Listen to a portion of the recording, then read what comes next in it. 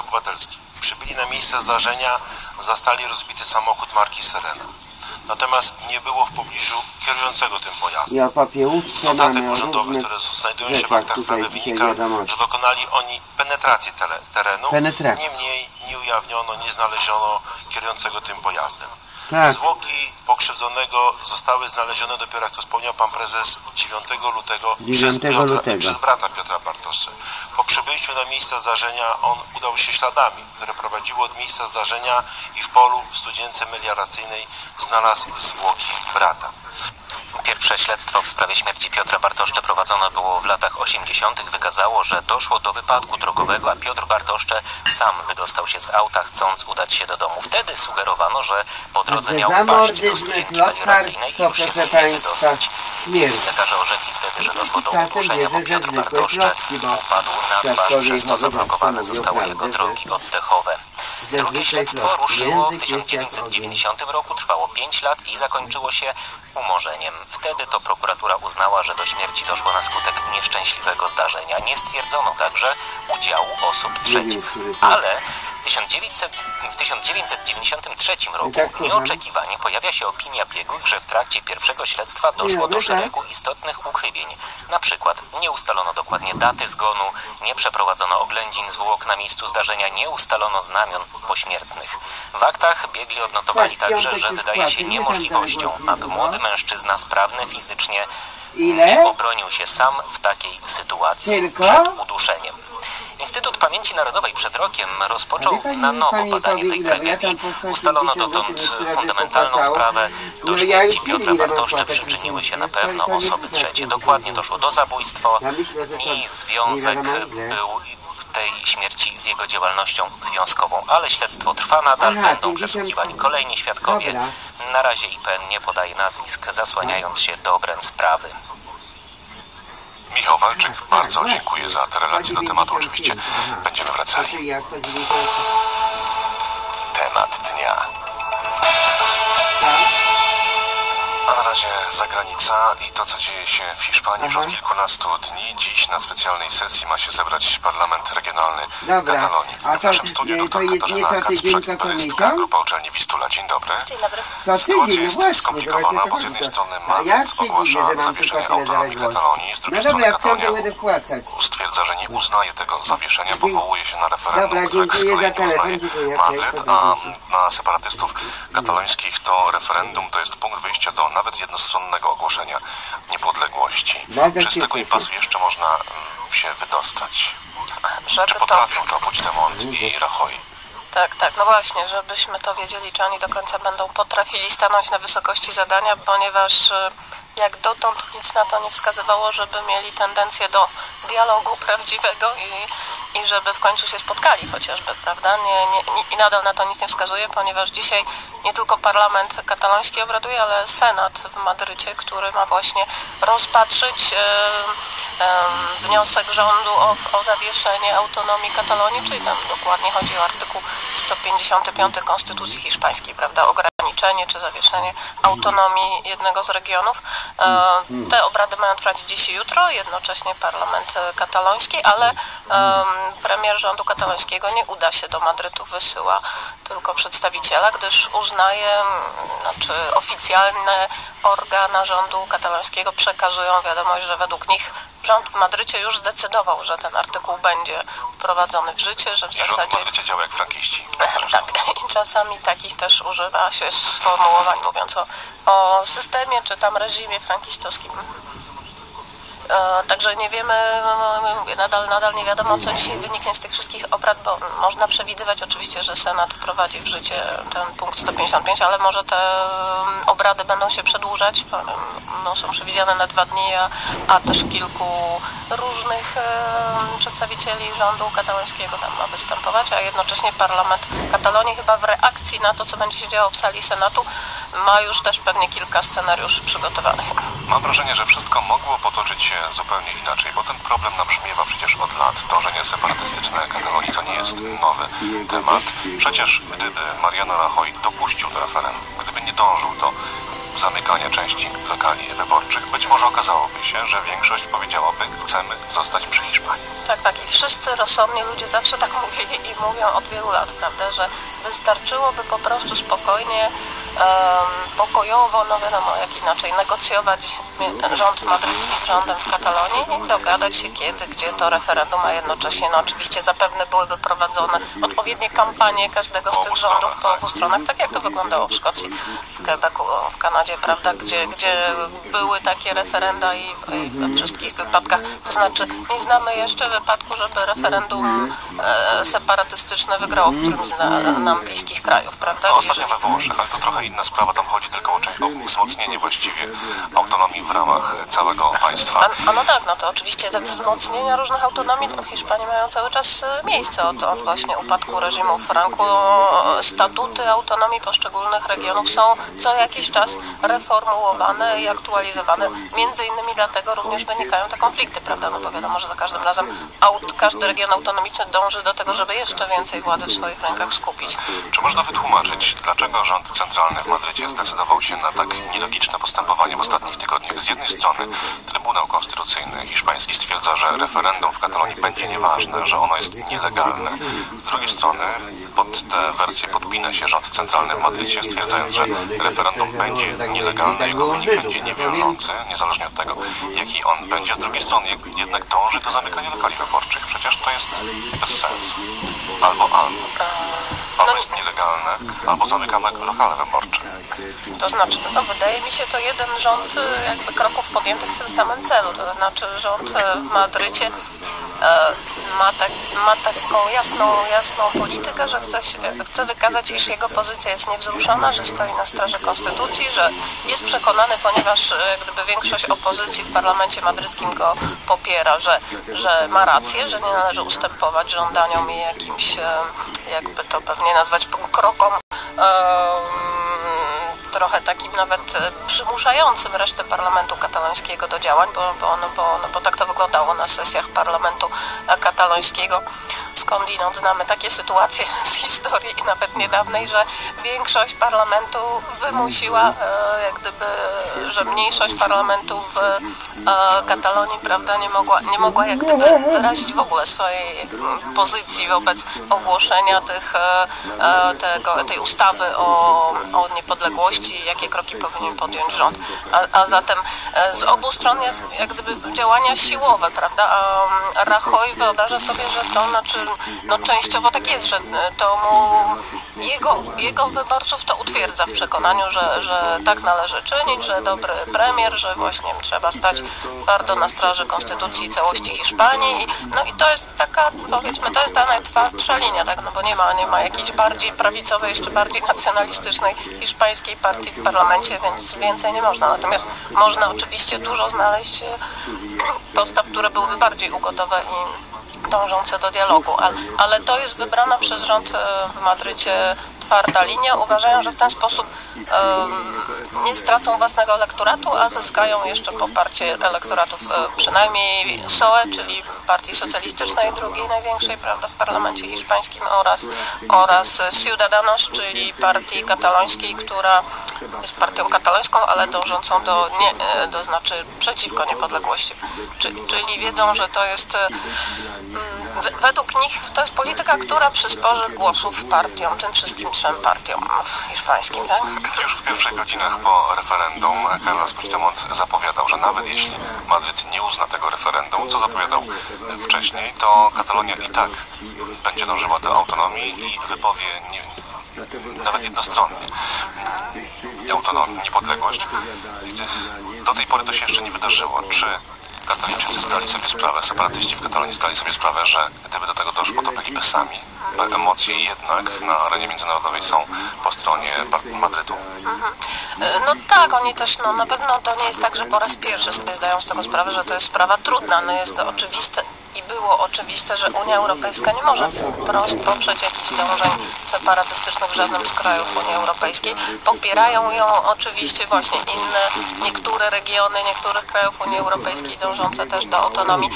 Obawiam się, że popierają nawet ostatnio Putin wysłał jakiegoś, prawda, wysłannika specjalnego tam, żeby wspierać te siły separatystyczne.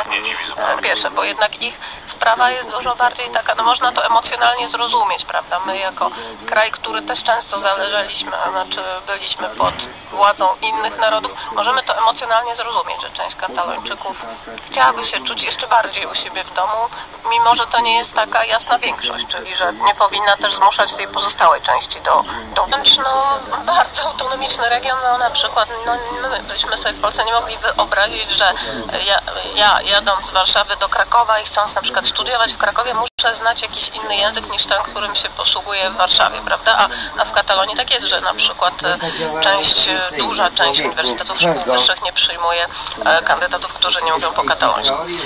No i oczywiście mają własną policję, własny budżet, dużo, dużo różnych uprawnień. Tak zatem wydaje się, że naprawdę autonomia jest szeroka, no, ale to zazwyczaj tak jest. Jeżeli ma się dużo, to chce się jeszcze więcej, a zwłaszcza jeśli nie istnieje taki dialog konstruktywny na poziomie właśnie rządów regionalnego i, e, i e, tego hiszpańskiego ogólnego i część katalończyków czuje się jakoś upokorzona, jakoś niedoceniona, jakoś no, ich te uczucia, że tak powiem, narodowe nie są do końca usatysfakcjonowane tak, po polityką Madrytu. Puigdemont i Rajoy chyba się emocjonalnie i politycznie zresztą też zakleszczyli. Czy potrzebna byłaby w tej, w tej chwili, w tym układzie jakaś pomoc z zewnątrz?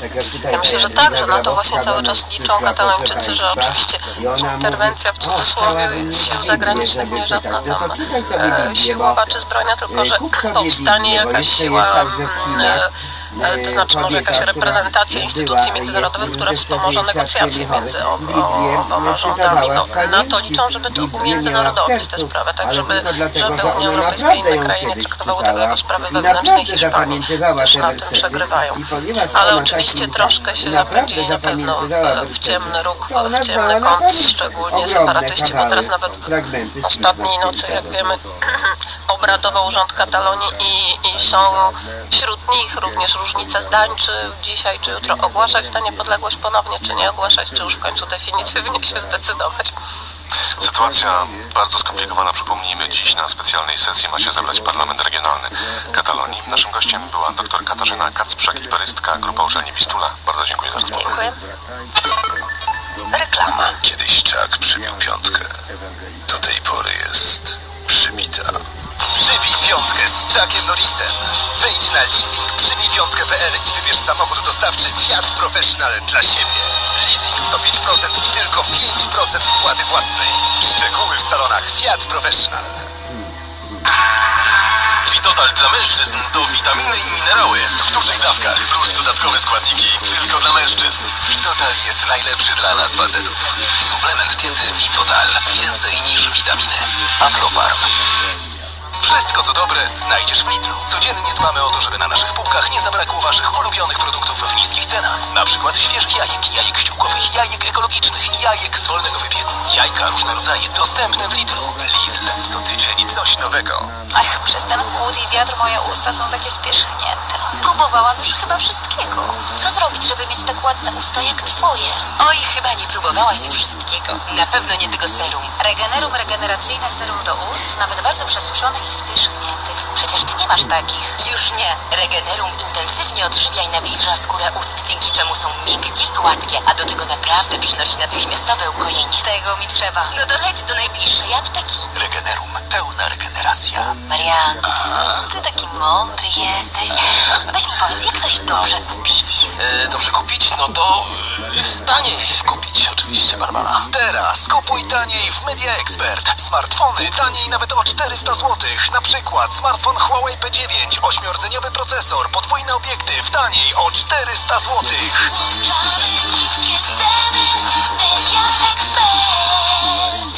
Więcej w sklepach Media Expert i na mediaexpert.pl. Kontynuując, chyba nie muszę tłumaczyć Państwu, jako słuchaczom Uniwersytetu Trzeciego Wieku, jak ważny jest magnes dla osób w starszym wieku. Ale pamiętajmy, magnes magnezowi nierówny. Ja polecam Państwu Neomac Cardio. Neomac Cardio dzięki zawartości potasu wpływa na utrzymanie prawidłowego ciśnienia krwi, a wyciąg z głowu wspiera układ krążenia. A do tego suplement diety Neomac Cardio wytwarzany jest przez wiodącego producenta leków. Neomac to gwarancja dobrego wyboru.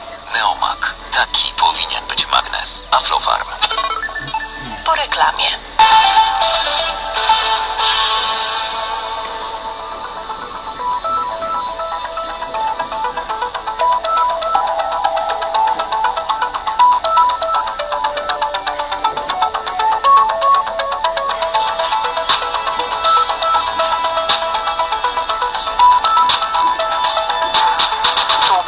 Radio 24 zbliża się 12.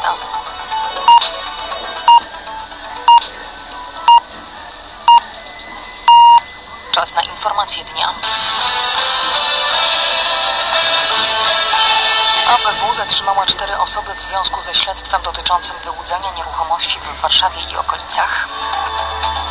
Powiemy też o inauguracji platformy NATO-Ukraina do spraw przeciwdziałania zagrożeniom hybrydowym. Ukraina jest krajem wyjątkowo doświadczonym przez tego typu działania.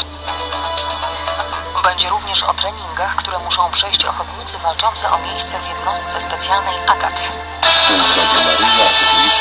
Adrianna Calińska-Czaniecka, zapraszam. Funkcjonariusze Agencji Bezpieczeństwa Wewnętrznego zatrzymali cztery osoby w związku ze śledztwem dotyczącym wyłudzania nieruchomości w Warszawie i okolicach. Zatrzymane osoby działały jako słupy. Mechanizm przestępczy polegał na tym, że grupa osób znajdowała starszych ludzi w trudnej sytuacji materialnej i podsuwała im tak zwane umowy pożyczek z przywłaszczaniem na zabezpieczenie, a także umowę na rentę hipoteczną. Osoby, które podpisały umowę z oszustami, były pozbawione majątku i prawa do niego. Częścią tej grupy przestępczej był notariusz Mateusz B., który już wcześniej został zatrzymany i aresztowany. Do tej pory zarzuty usłyszało 14 osób. Instytut Pamięci Narodowej przedstawił nowe ustalenia w sprawie śmierci Piotra Bartoszcza, jednego z przywódców Solidarności Rolników Indywidualnych w czasach PRL. Opinie biegłych wskazują, że działacz opozycji antykomunistycznej został zamordowany. Szef pionu śledczego IPN Andrzej Pozorski ocenił, że działania śledczych przeprowadzone po odnalezieniu ciała Piotra Bartoszcze były skrajnie nieudolne. Komunistyczna prokuratura stwierdziła wówczas, że przyczyną zgodu, zg- zgonu był wypadek. We wrześniu ubiegłego roku śledczy IPN na nowo podjęli czynności w sprawie. Ich wynikiem jest opinia biegłych medyków sądowych z Pomorskiego Uniwersytetu Medycznego, mówi prokurator Pozorski.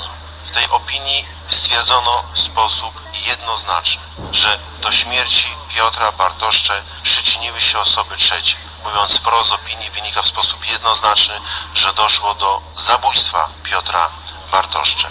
Prokurator Pozorski dodał, że najbardziej realna wersja zakłada, że za śmiercią Piotra Bartoszcze stoją funkcjonariusze państwa komunistycznego. W samochodzie Piotr Bartosz, Piotra Bartoszcze znaleziono tylną szybę wypchniętą do środka pojazdu. Tajemniczych faktów jest więcej, mówi prezes IPN Jarosław Szarek.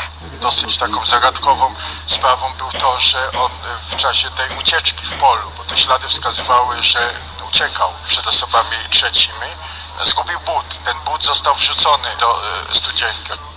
Instytut Pamięci Narodowej zachęca osoby, które mogą mieć wiedzę w tej sprawie do zgłaszania się do pionu śledczego Głównej Komisji Ścigania Zbrodni przeciwko Narodowi Polskiemu. W Warszawie zainaugurowano platformę NATO-Ukraina do spraw przeciwdziałania zagrożeniom hybrydowym. W Belwederze trwa seminarium poświęcone problemowi. To dowód na to, że Polska w aktywny sposób wspiera Ukrainę, ale też realizuje politykę NATO, mówi szef Biura Bezpieczeństwa Narodowego Paweł Soloch i dodaje, że Ukraina w zakresie wojny hybrydowej ma duże doświadczenie. Ukraina, e, jeśli chodzi o doświadczenia wojny hybrydowej, właściwie we wszelkich aspektach, od wojny informacyjnej, od e, cyberataku, manipulacji nastrojami społecznymi, poprzez bezpośrednie e, akty, czy to terroru, czy agresji wojskowej, więc jest krajem wyjątkowo doświadczonym przez tego typu działania. Stąd doświadczenia naszych partnerów ukraińskich są no, w pewnym sensie dla nich dramatyczne, unikalne i my chcemy z tych doświadczeń e, korzystać, chcemy się dzielić naszymi doświadczeniami, nie tylko polskimi, ale również doświadczeniami sojuszniczymi. W seminarium biorą udział m.in. zastępca sekretarza Rady Bezpieczeństwa Narodowego i Obrony Ukrainy Oleksandr Litwinienko i zastępca sekretarza generalnego NATO do spraw politycznych James Apaturaj. Ministerstwo Środowiska wstrzymuje rozporządzenie No, przywracające możliwość polowania na łosie. Resort jednocześnie No, proponuje ogólnopolską No. debatę poświęconą zanikowi niektórych gatunków łapciuchy, na obszarach Natura momentalnie 2000. przyłazi. Resort ma nadzieję, że dyskusja nad proponowanymi rozwiązaniami pozwoli wyjaśnić wszelkie narosłe do tej pory kontrowersje. 24 ochotników walczy o miejsce w jednostce specjalnej AGAT. Od poniedziałku kandydaci są poddawani morderczym treningom. Instruktorzy z gliwickiej formacji każdego dnia wyznaczają im nowe zadania. Dziś muszą udowodnić, czy sami dadzą sobie radę w górach.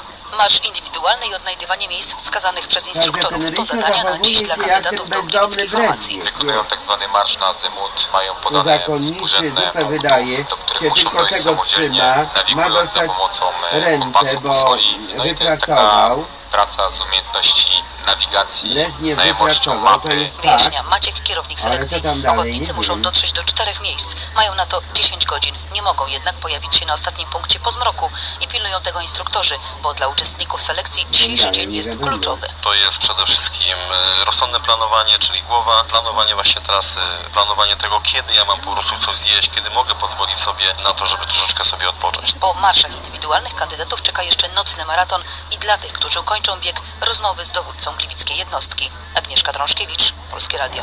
A na koniec jeszcze krótko o laureacie Nagrody imienia Sacharowa. W tym roku Parlament Europejski postanowił uhonorować wenezuelską opozycję demokratyczną. Do nagrody przyznawanej za działania na rzecz wolności słowa kandydowali również obrońcy praw człowieka z Gwatemali i Erytrei. Więcej na ten temat w kolejnych serwisach. A teraz czas na pogodę. Dzisiaj na niebie sporo chmur i miejscami deszcz. Na termometrach od 10 stopni na północnym wschodzie, około 12 w centrum do 15 na południowym zachodzie. Wiatr słaby i umiarkowany, na północy momentami porywisty do Ona 60 cię źle czuła, km na godzinę, a w górach do 90 km na godzinę.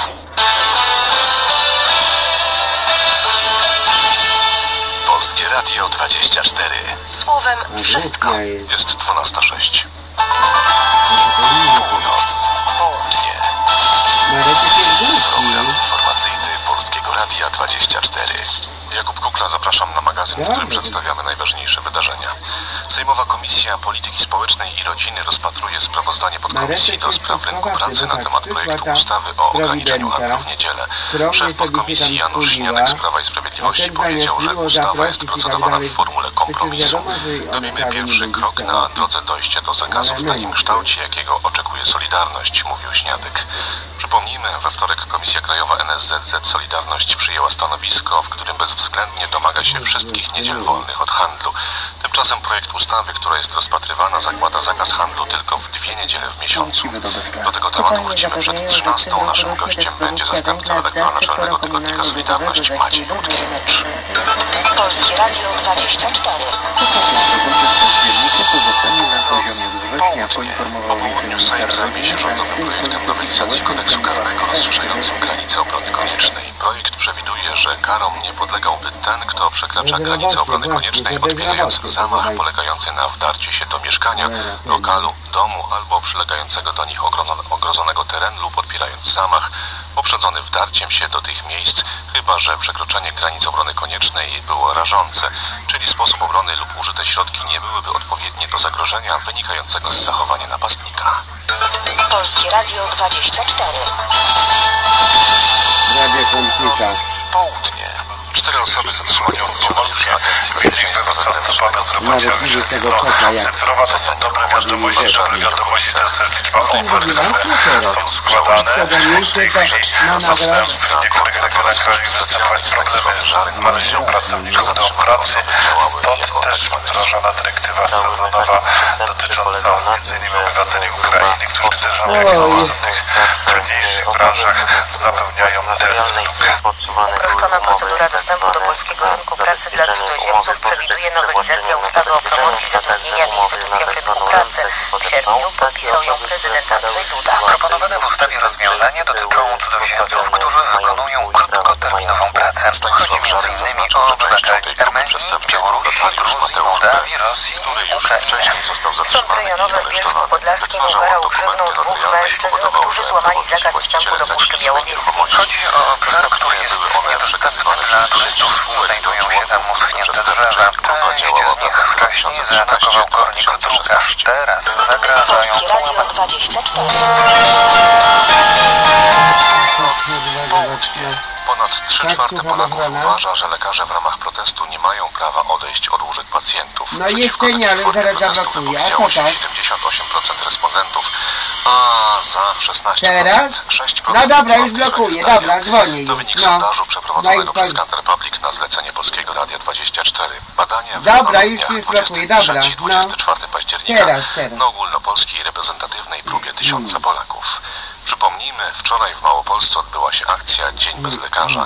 Według szacunków organizatorów wzięło w niej udział kilkuset medyków. Nie przyjmowali oni pacjentów, a umówione Dobra, wizyty ja przekładane dzwonię były do na inne terminy. patronusa.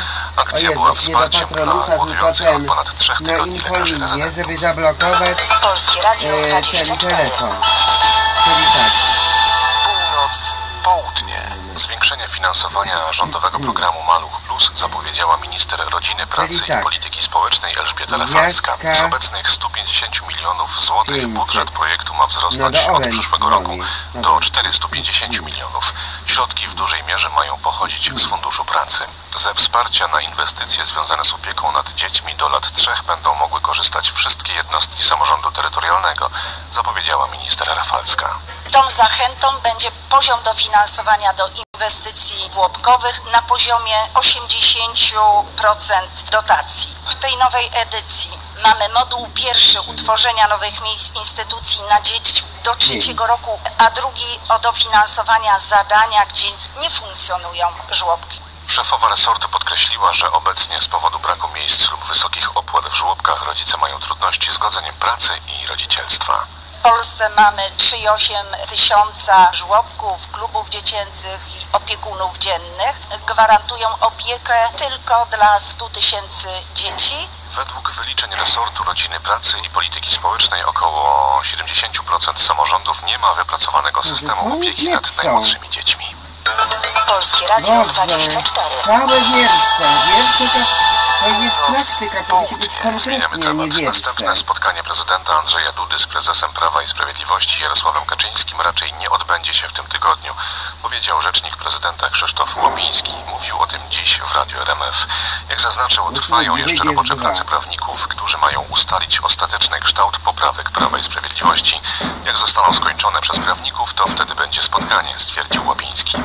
A wicemarszałek Sejmu Ryszard Terlecki z Prawa i Sprawiedliwości dziś w Radiu Wnet wyraził nadzieję, że w tym roku obie ustawy dotyczące sądownictwa procedowane w parlamencie będą procedowane w parlamencie i uzyskają podpisy prezydenta. Przypomnijmy, poprzednie spotkanie prezydenta i szefa PiS odbyło się w ubiegłym tygodniu. Jarosław Kaczyński przekazał wtedy poprawki Prawa i Sprawiedliwości do ustaw o Sądzie Najwyższym i Krajowej Radzie Sądownictwa. Po spotkaniu rzecznik prezydenta mówił, że Andrzej Duda ma bardzo poważne zastrzeżenia do niektórych poprawek. Zaznaczył zarazem, że obie strony spotkania uznają, iż kompromis jest blisko. Polskie Radio 24. Północ, południe. Instytut Pamięci Narodowej przedstawił nowe ustalenia w sprawie śmierci Piotra Bartoszcze, jednego z przywódców Solidarności i rolników indywidualnych w czasach PRL. Szef pionu śledczego IPN Andrzej Pozorski poinformował, że w świetle opinii biegłych Pomorskiego Uniwersytetu Medycznego należy przyjąć, że działacz opozycji antykomunistycznej został w 1984 roku zamordowany. Prokurator ocenił, że działania śledczych przeprowadzone po odnalezieniu ciała Piotra Ja Bartoszcze były skrajnie nieudolne. Komunistyczna prokuratura stwierdziła Nie wówczas, przyczyną zgonu rolniczego działacza opozycji było uduszenie się w studzience melioracyjnej w wyniku upojenia alkoholowego. tak. Sprawę umorzono także w 1995 roku. Będę powracał. We wrześniu ubiegłego roku śledczy IPN podjęli na nowo czynności w sprawie. Ich wynikiem jest opinia biegłych medyków sądowych z Pomorskiego Uniwersytetu Medycznego, powiedział Andrzej Pozorski.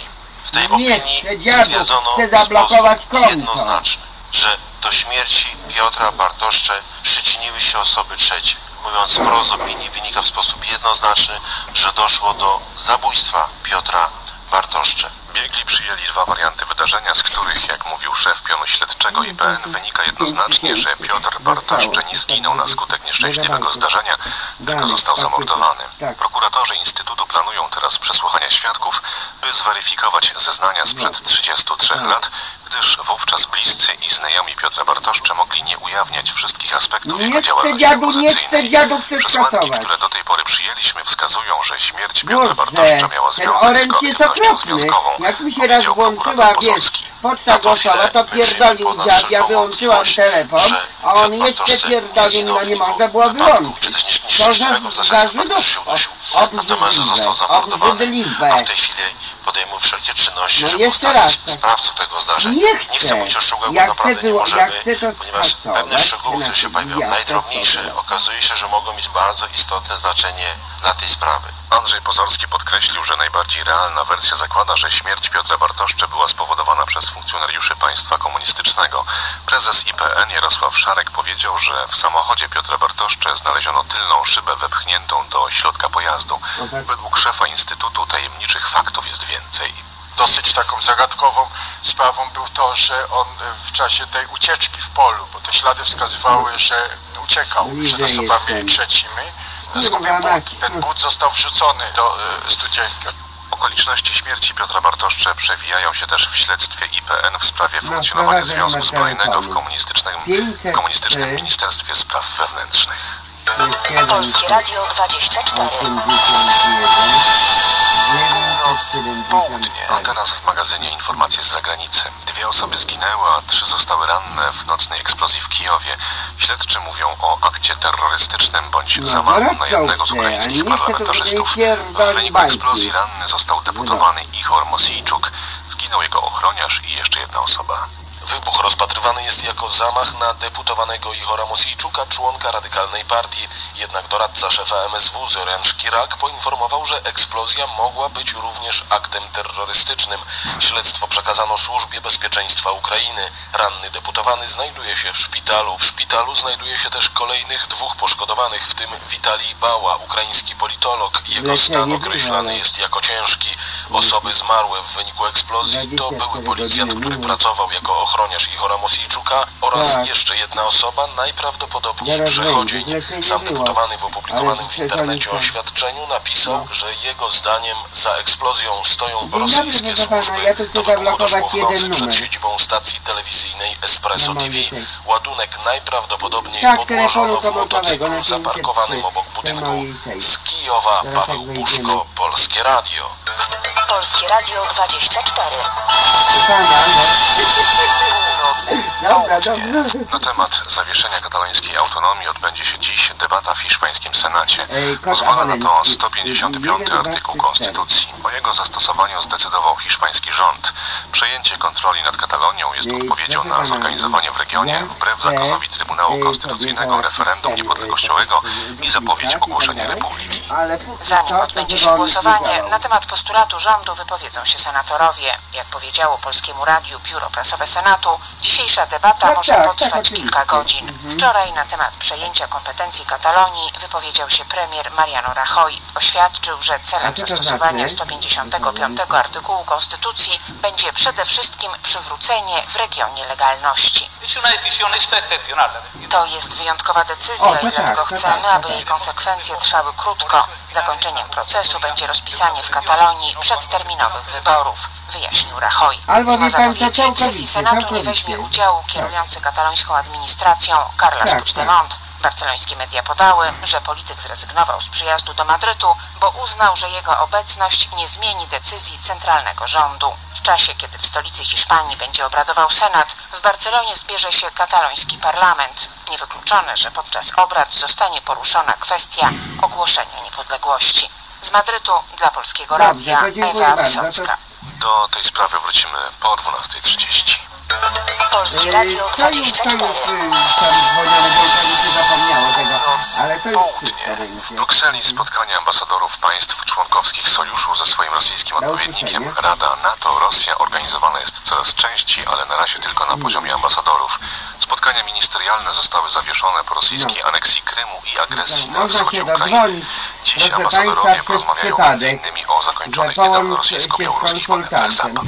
Wielu sojuszników w NATO mówiło, że te manewry są zagrożeniem dla stabilności. Niepokój wywołały także doniesienia z Ukrainy, że Rosja pozostawiła po ćwiczeniach na Białorusi część swoich wojsk. do spotkania ambasadorów dochodzi także kilkanaście dni po oskarżeniach Moskwy dotyczących rozmieszczenia wojsk natowskich na wschodniej flance, w tym w Polsce. Według Rosji sojusz wysłał nie brygadę, lecz dywizję w pobliżu jej granic, złamał tym samym porozumienia i to on jest zagrożeniem dla stabilności. Sekretarz generalny NATO Jens Stoltenberg odpierał wtedy te zarzuty. Odpowiadamy na zagrożenia w sposób proporcjonalny, to jest działanie obronne i odstraszające. Szef sojuszu podkreślał, że NATO nie wywołuje konfliktów, lecz stara się im zapobiegać. Beata Płomecka, Polskie Radio, Bruksela. Polskie Radio 24. Północ, południe. W Niemczech trzecia tura rozmów koalicyjnych ma dotyczyć polityki migracyjnej, energetyki oraz polityki klimatycznej. Media spekulują, że te tematy mogą okazać się najtrudniejsze. Partia Zielonych żąda szybkiego i całkowitego zamknięcia kopalń węgla kamiennego i brunatnego, natomiast chadecy oraz liberałowie opowiadają się za wydłużeniem okresu przejściowego. Premier Nadrenii Północnej Westfalii Armin Laschet z CDU zapowiedział twarde stanowisko Hadecji w tej kwestii. Jego zdaniem wynikiem likwidacji kopalń węgla brunatnego, na przykład w Lausitz, byłby wzrost poparcia w tym regionie dla eurosceptycznej AfD. Nie widać porozumienia w sprawie polityki migracyjnej. Zieloni chcą otwarcia granic i umożliwienia łączenia rodzin dla przebywających w Niemczech migrantów. Natomiast FDP oraz CSU są zdecydowanie temu przeciwni. Przewodniczący liberałów Christian Lindner powiedział, Strasznie że dużo rozmowy na temat gada polityki i się nie migracyjnej kończy ta, jego się poezja. Na, najtrudniejsze. zresztą na T-Mobile to samo, to jest coś Polskie Radio, Berlin. Do rozmów w sprawie tworzenia koalicji przystąpiły partie CDU, CSU, FDP i Zieloni. Ze względu na znaczne różnice programowe ich uczestnicy spodziewają się długich i trudnych negocjacji. 950, Polskie Radio 24. 950, 100, Południe. Mija 15 lat od jednego z największych w Moskwie ataków terrorystycznych. W trakcie akcji odbijania zakładników 180. przetrzymywanych przez terrorystów w teatrze na Dubrowce życie straciło 130 osób. Czeczeńskie komando wtargnęło do teatru na Dubrowce 23 października, domagając się od władz Rosji wycofania wojsk z Czeczenii. Po trzech dniach negocjacji komandosi przepuścili szturm. W trakcie strzelaniny i w wyniku użycia gazów paraliżujących życie straciło 130 zakładników i 44 terrorystów. Mieszkańcy okolicznych kamienic do dziś wspominają tamte wydarzenia ze łzami. Pamiętam, oczywiście, że pamiętam. Mieszkam naprzeciwko, strasznie było, strzelali. Żal tych, co umarli. Naprawdę strasznie było. No straszne. W 15. rocznicę tragedii na Dubrowce Moskwianie przynoszą kwiaty i zapalają świeczki na schodach teatru. Rodziny ofiar wciąż domagają się ukarania dowódców odpowiedzialnych za akcję antyterrorystyczną. Moskwa, Maciej Jastrzębski, Polskie Radio. Polskie Radio 24. Północ, południe. W Stanach Zjednoczonych zostaną dziś ujawnione dokumenty dotyczące szczegółów śledztwa w sprawie zabójstwa Johna Kennedy'ego. Amerykański prezydent został zastrzelony w Dallas 22 listopada 1963 roku. W śledztwie ustalono, że zamachu dokonał Lee Harvey Oswald, jednak ciągle istnieje wiele teorii wskazujących na innych sprawców i okoliczności zbrodni. Na ten szczególny moment oczekują zarówno osoby szukające sensacji, jak i historycy. Eksperci jednak twierdzą, że nie należy spodziewać się większych sensacji. Z dokumentów powinniśmy się dowiedzieć przede wszystkim o sposobach prowadzenia śledztwa zarówno przez FBI, jak i CIA. Nie rzucą one raczej na sprawę nowego światła. To tysiące plików Narodowego Archiwum Stanów Zjednoczonych. W swoim ostatnim wpisie na Twitterze Donald Trump potwierdził, że dziś akta zostaną udostępnione. Nie wiadomo jednak, czy wszystkie. Prezydent może odmówić publikacji części dokumentów, które jego zdaniem mogą stanowić zagrożenie dla amerykańskich służb śledczych, organów ścigania i wojska. Tak mieli się 4 lata temu. Amerykańskie media relacjonowały śmierć prezydenta Kennedy'ego. Do dziś nie brakuje teorii spiskowych na ten temat. Z Miami dla Polskiego Radia, Jan Pachlowski. Polskie Radio 24. Północ, południe. Dziś o 15 papież Franciszek połączy się z astronautami pracującymi na Międzynarodowej Stacji Orbitalnej. Sześć lat temu jako pierwszy papież zrobił to Benedykt XVI. Połączenie ma trwać około 20 minut i będzie transmitowane przez wiele stacji telewizyjnych. Papież będzie rozmawiał z małej sali przylegającej do auli Pawła VI. Obecnie załoga stacji orbitalnej składa się z sześciu astronautów, trzech Amerykanów, dwóch Rosjan i Włocha, 60-letniego Paolo Nespoliego. Nespoli był członkiem 12-osobowej załogi stacji, z którą w maju 2011 roku połączył się Benedykt XVI. Włoskie media przypominają, że 22 lata temu rosyjskim astronautom stacji Mir odtworzono nagranie pokojowego orędzia patriarchy Aleksego II, a papież Paweł VI przekazał nagrane przesłanie amerykańskim astronautom, którzy wylądowali na Księżycu. Piotr Kowalczuk, Polskie Radio, Rzym. Polskie Radio 24. Północ, południe. Młodzież z Wilna zorganizowała dzisiaj sprzątanie cmentarza na Rossie. Akcja Młodzi dla Rossy nie jest jedyną tego typu inicjatywą Polaków w stolicy Litwy.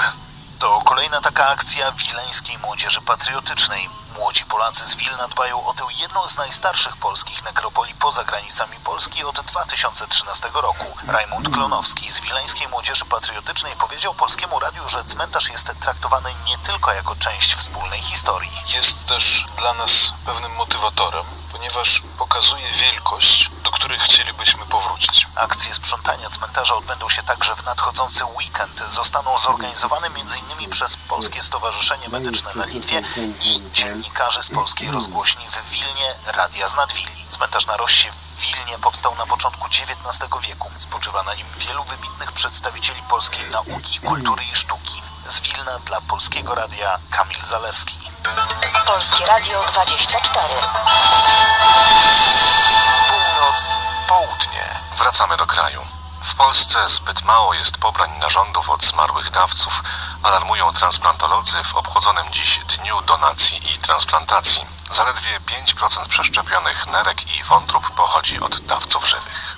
Przeszczep narządu jest często jedynym sposobem leczenia i uratowania życia. Zdecydowana większość Polaków akceptuje możliwość pobrania narządu po śmierci bliskich, jednak mimo nastawienia społecznego sprzyjającego transplantacjom, dawców wciąż brakuje. W Stanach Zjednoczonych i krajach skandynawskich rozwiązaniem problemu stały się transplantacje oddawców żywych. Tam prawie co druga przeszczepiona nerka pochodzi właśnie od dawcy żywego. W Polsce niecałe 5% wszystkich przeszczepów nerek lub fragmentów wątroby to przeszczepy rodzinne. Na transplantacje chorzy czekają zazwyczaj od kilku do kilkunastu miesięcy. Niestety z powodu braku dawców niektórzy umierają w kolejkach. Na przeszczep nerki w kraju czeka około 1300 osób, na serce 350 osób, na przeszczep szpiku ponad 3000 osób. Joanna Stankiewicz, Polskie Radio. No takie zablokowane, jest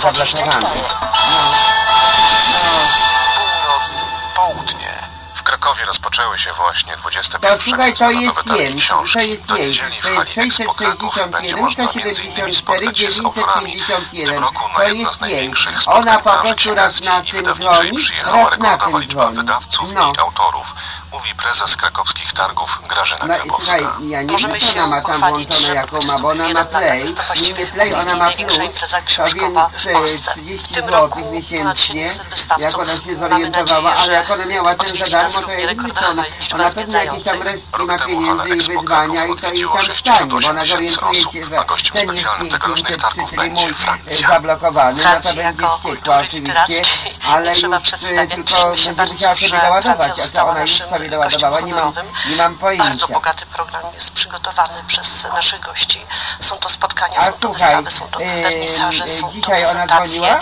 Francuscy autorzy będą podpisywać swoje książki. Wśród autorów, którzy spotkają się z czytelnikami są m.in. Ja tutaj tylko taki krótki SMS tutaj napiszę do Tobiasa, że ona była zawsze niemiłym gościem i nigdy nie była wdzięczna za to, co ktoś jej dał, zrobił i itp.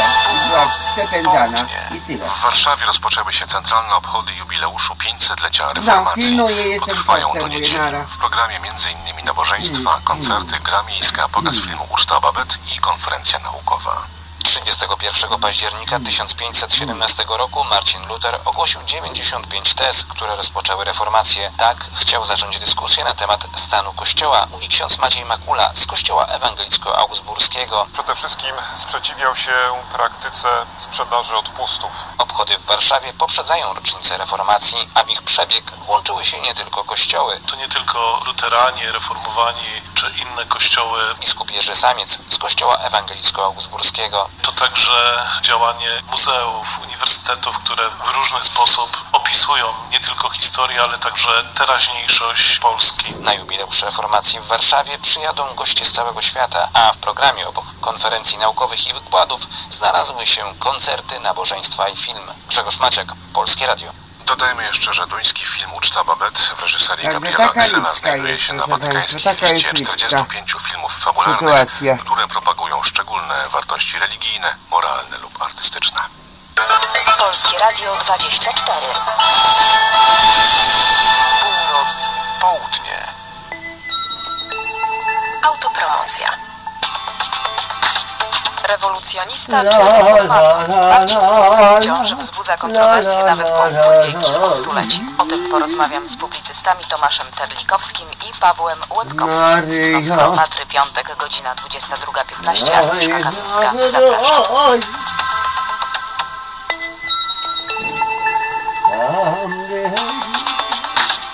SOR to nie tylko szpitalny oddział ratunkowy. SOR to również audycja o społeczeństwie obywatelskim, w której odwietna sentencja, że człowiek jest najwyższą wartością dla drugiego człowieka, znajduje potwierdzenie w działaniu ludzi i firm wrażliwych na potrzeby innych. Każdy może wybrać. Burzyć rzeczywistość lub ją budować. Nasi bohaterowie ją budują. Zapraszam w każdy wtorek o 20.35. Maciej Wojnakiewicz, Społeczeństwo Obywatelskie Reaktywacja.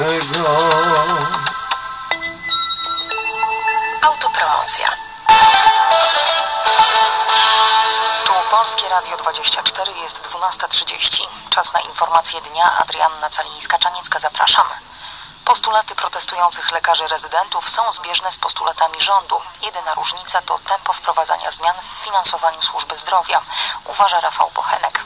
Zgadzamy się z każdym postulatem i wszelkimi oczekiwaniami rezydentów, ale nie tylko ich, również z całym środowiskiem lekarskim, medycznym i wszystkimi zawodami, które są zaangażowane w służbę zdrowia. Chcemy wypełniać ich oczekiwania, podkreślił w wywiadzie dla portalu w Polsce.pl rzecznik rządu. Tymczasem lider Kukiz 15 apeluje o ponadpartyjne porozumienie w sprawie reformy służby zdrowia. Zdaniem gościa Polskiego Radia patronem takiego porozumienia mógłby być prezydent. Proszę pana prezydenta o to, by przejął pieczę nad tym tematem, by zaprosił do siebie przedstawicieli wszystkich opcji politycznych oraz środowisk medycznych i by wspólnie wypracować taki projekt ustawy o zdrowiu, który satysfakcjonowałby wszystkich i umożliwił podpisanie przez opcje polityczne porozumienia polegającego na tym, że bez względu na wynik wyborów ta reforma była realizowana. Młodzi lekarze domagają się zwiększenia nakładów na zdrowie do 6,8% PKB w ciągu trzech lat oraz podwyżek wynagrodzeń. Rząd przyjął w tym tygodniu projekt ustawy, który przewiduje systematyczny wzrost finansowania służby zdrowia do 6% PKB w ciągu 8 lat. 700 wystawców z ponad 20 krajów, spotkania z pisarzami, poetami czy tłumaczami. W Krakowie rozpoczęły się 21 Międzynarodowe Targi Książki. Miłośnicy literatury od rana tłumnie odwiedzają halę Kraków Expo. Część z nich kupiła już pierwsze egzemplarze. Książka e, Michelle Palmer, e, Mistrz e, Efekty uboczne. Książka o Kate Bennett, thriller medyczny. Przede wszystkim motywacja do czytania, rozbudzanie tej motywacji do czytania. Po raz pierwszy jestem i muszę powiedzieć, że bardzo mi się podoba. Tyle książek w jednym miejscu jeszcze nie widziałam. Naprawdę raj dla czytających. Najwięcej uwagi przywiązujemy do wydawnictw dziecięcych. Która ile ma lat? Dwa. Dwa latka już y, czytacie Państwo? córce? Nie ma bardziej jak nie jak nie tata pomywa jak niebieleczki, to jakieś inne tu nie teraz. W tym roku hasłem wydarzenia są szeroko pojęte innowacje. Prezes Polskiej Agencji Przedsiębiorczości Wojciech Pomarański mówi, że współpraca biznesu ze środowiskami naukowymi stała się koniecznością. Po raz pierwszy organizujemy to wydarzenie na uczelni. Ponad tysiąc osób, które przyjedzie, to są ci, którzy w ciągu roku wyróżnili się czymś wybitnym e, na arenie innowacji, na arenie ekologii, czy strategii ekologicznej, czy też w rozwoju regionalnym. Właściciel firmy z branży budowlanej Edward Makarewicz przekonuje, że firmy muszą współpracować z uczelniami, by szukać nowych rozwiązań przemysłowych. We własnym zakresie nie można tego robić. Ja uważam, że nauka jak najbardziej tu jest po prostu potrzebna. Problemem takim podstawowym to jest wola. Jeżeli już nie samej uczelni, natomiast wola konkretnych, prawda, naukowców, profesorów, doktorantów, żeby nie bali się tego biznesu, ale po prostu chcieli razem z tym biznesem e, coś nowego tworzyć i po prostu e, współpracować. Kongres Przedsiębiorczości Zielonej Górze trwa do jutra. W Brukseli spotykają się dziś ambasadorowie państw członkowskich sojuszu ze swoim rosyjskim odpowiednikiem. Rada NATO-Rosja organizowana jest coraz częściej, ale na razie tylko na poziomie ambasadorów. Dziś rozmowy mają dotyczyć rosyjsko-białoruskich manewrów Zapad. Wielu sojuszników NATO mówiło, że te manewry są zagrożeniem dla stabilności. Niepokój wywołały także doniesienia z Ukrainy, że Rosja pozostawiła po ćwiczeniach na Białorusi część swoich wojsk. Do spotkania ambasadorów dochodzi także kilkanaście dni po oskarżeniach Moskwy dotyczących rozmieszczenia wojsk natowskich na wschodniej flance, w tym w Polsce. Według Rosji sojusz wysłał nie brygadę, lecz dywizję w pobliżej granic, złamał tym samym porozumienia i to on jest zagrożeniem dla stabilności. Sekretarz generalny NATO Jens Stoltenberg odpierał wtedy te zarzuty. Odpowiadamy na zagrożenia w sposób proporcjonalny. To jest działanie obronne i odstraszające. Szef sojuszu podkreślał, że NATO nie wywołuje konfliktów, lecz stara się im zapobiegać. Beata Połęcka, Polskie Radio, Bruksela. Polskie Radio 24. Słowem wszystko. 12.35. Polskie Radio 24.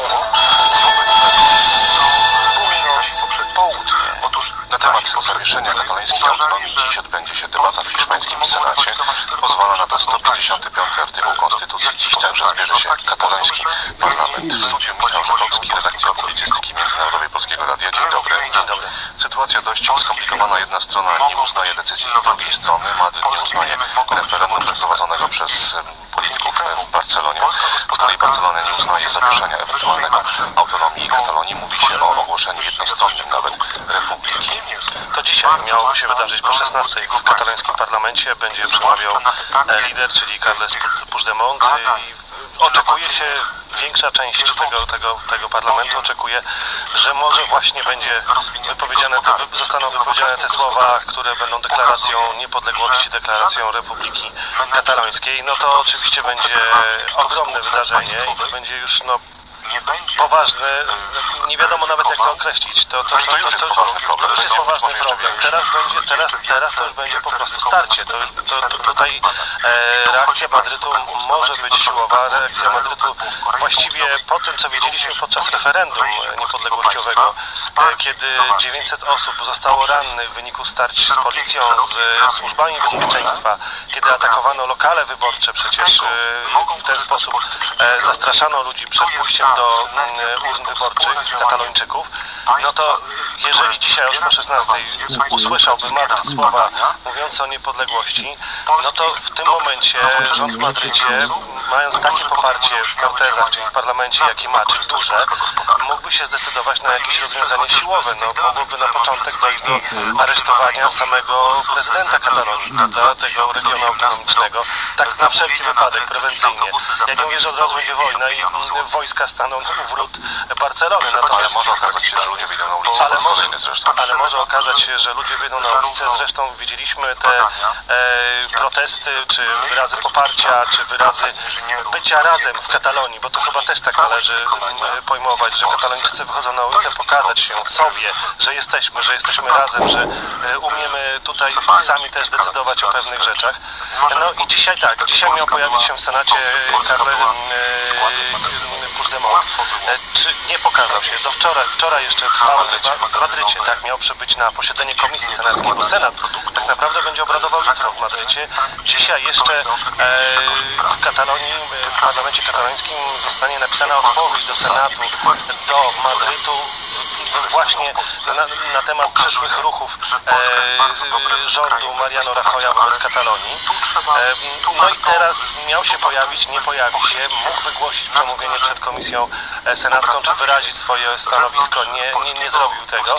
E, na zamiast tego słyszymy jego słowa, które tutaj podaje agencja AFP, mianowicie mm, Puigdemont w ten sposób ocenia sytuację. Jeśli dalej ten kryzys będzie trwał, to może dojść do jakiejś eskalacji tego problemu może dojść do wybuchu przemocy. Także tutaj widać, że ta atmosfera się bardzo zagęszcza. Wiceprezydent Katalonii w wywiadzie dla e, jednej z agencji dla, dla, dla dziennika Independent powiedział, my nie mieliśmy innego wyjścia niż tylko ogłosić niepodległość. Nikt, Madryt nie dawał nam żadnego, e, ża, ża, ża, żadnego, żadnej możliwości wyboru. Także widać, że katalońscy politycy są zdeterminowani, no ale tak jak powiedziałeś wcześniej, ściana, która jest po drugiej stronie w Madrycie, no jest chyba nie do przebicia. Pole do dyskusji rzeczywiście jest dość wąskie, bo obie strony powtarzają jak mantrę dość, dość stałe stwierdzenia. Z jednej strony Katalonia, która przedstawia siebie jako ofiarę i stwierdza, że właściwie nie ma żadnego innego wyboru, została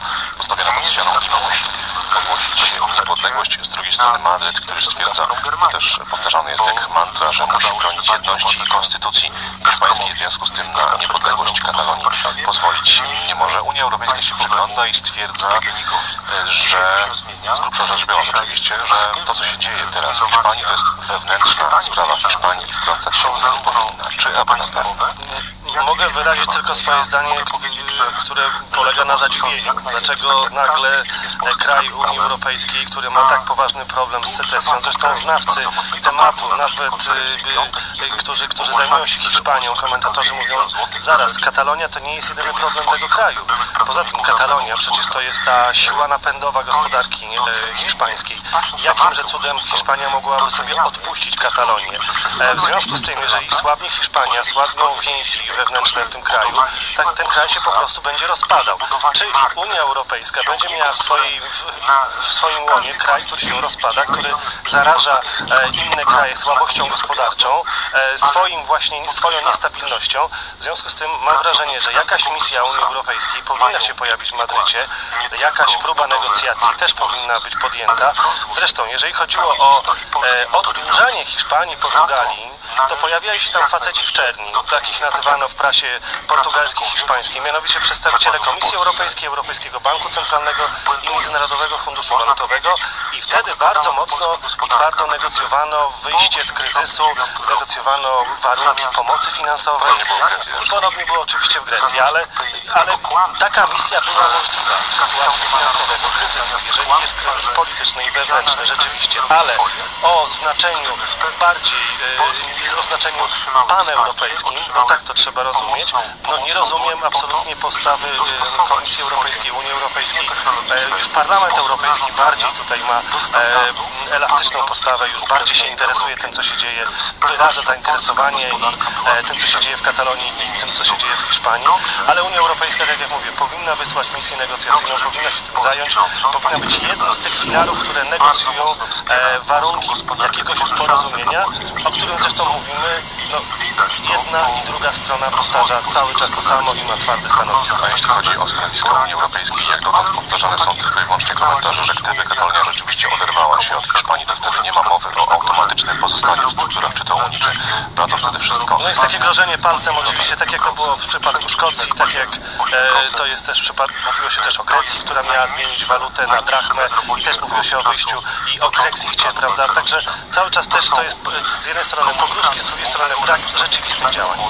I powtarzanie, że to są wewnętrzne sprawy Hiszpanii i inne stanowisko nieco mają Rosjanie, którzy wspierają dość wyraźnie Katalińczyków, ale to jest temat na zupełnie inną rozmowę. Michał Żakowski, bardzo dziękuję. Dziękuję bardzo. Polskie Radio 24. Południe. Studia Błażej Prośniewski, dzień dobry. Redakcja gospodarcza Polskiego Radia. Skoro redakcja gospodarcza, to porozmawiamy o pieniądzach, a dziś właściwie o luzowaniu. Europejski Bank Centralny jest przed najważniejszą decyzją roku. Dziś powinniśmy poznać odpowiedź na pytanie, co dalej z programem luzowania ilościowego. Zanim poznamy odpowiedź na to pytanie, wyjaśnijmy, czym jest program luzowania ilościowego. Mówiąc najprościej, Europejski Bank Centralny kupuje od banków obligacje skarbowe, przede wszystkim obligacje państw strefy euro, płacąc za te obligacje nowo wykreowanymi pieniędzmi, czyli dodrukując pieniądze. Na skutek tego wzrasta cena obligacji, w systemie bankowym przybywa pieniędzy, a dzięki temu po pierwsze obniża się oprocentowanie różnych e, instrumentów finansowych, na przykład tanieją kredyty, dzięki czemu są one bardziej dostępne, no więc firmy, przedsiębiorstwa, osoby indywidualne mogą zaciągnąć nowe kredyty, a te, które już mają spłacać taniej kredytów, na razie czego mają się pojawić inwestycje, ma się pojawić wyższa konsumpcja, no i e, rozpędzić e, unijną gospodarkę. Ten program skupu aktywów trwał do 2015 roku. Łącznie z tego czasu Europejski Bank Centralny przeznaczył na to 2 biliony euro. No i jego podstawowym zadaniem tego programu było wyciągnięcie Unii Europejskiej z kryzysu, co w dużej mierze się udało, obserwując chociażby wskaźniki makroekonomiczne europejskie. Sytuacja Unii, w gospodarce unijnej się normalizuje. Dodatkowo jeszcze e, program skupu aktywów zakończył drugi najważniejszy bank centralny świata, czyli rezerwa federalna, więc ta normalizacja polityki pieniężnej musiała nastąpić, czy musi nastąpić właśnie teraz. A kiedy można jej się spodziewać? Czy to Dzisiaj będzie skokowa zmiana. Dzisiaj poznamy szczegóły. Na pewno to nie będzie skokowa zmiana, bo mm, rynki uzależniły się od tych e, pieniędzy drukowanych przez Europejski Bank Centralny, więc aby nie było jakiegoś szoku na rynku, e, prezesi EBC muszą w jakiś sposób stopniowo wygaszać ten program. Tutaj e, na razie spekuluje się o dwóch e, scenariuszach. E, Pierwszy mówi o tym, że e, będzie redukcja wartości skupu aktywów z 60 miliardów euro obecnie do 40 miliardów euro e, na okres 6 miesięcy. Drugi natomiast zakłada obniżenie miesięcznego skupu aktywów do 20 miliardów euro i wydłużenie tego programu e, o rok. W obu wariantach łączna suma zakupów e, aktywów w 2018 roku to będzie 240 miliardów euro. No i ta liczba jest bardzo kluczowa, bo jakiekolwiek odchylenie od niej może grozić e, perturbacjami na rynkach e, finansowych. W takim razie na zakończenie jeszcze wątek Polski. Co dzisiejsza decyzja może oznaczać dla Polski, decyzja Europejskiego Banku Centralnego? No po pierwsze patrząc w takiej długiej e, perspektywie